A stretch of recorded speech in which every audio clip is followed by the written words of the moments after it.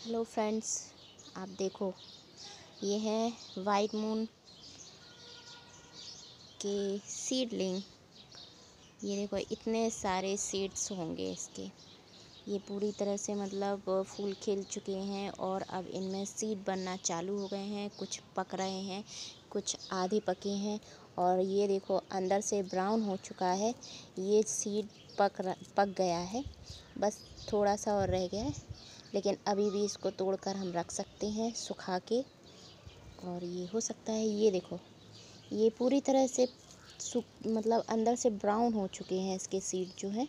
तो ये इसकी निशानी है कि ये पूरी तरह से पक चुका है और ये सीड अगले साल के लिए, रखने के लिए तैयार हो चुका है।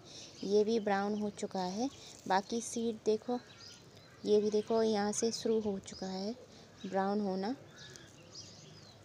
तो इस तरह से हमें ये सीड तोड़ के रखना है जो ब्राउन हो चुके हैं। अभी ये सारे जितने हैं, ये धीरे धीरे ब्राउन होना चालू हो गए हैं। ये भी देखो थोड़े थोड़े अंदर काले से दिख रहे हैं, ये ब्राउन हो रहे हैं, ये सारे। ये ये है डबल पेटल नहीं, ये सिंगल पेटल है और ये वाला डबल पेटल का है।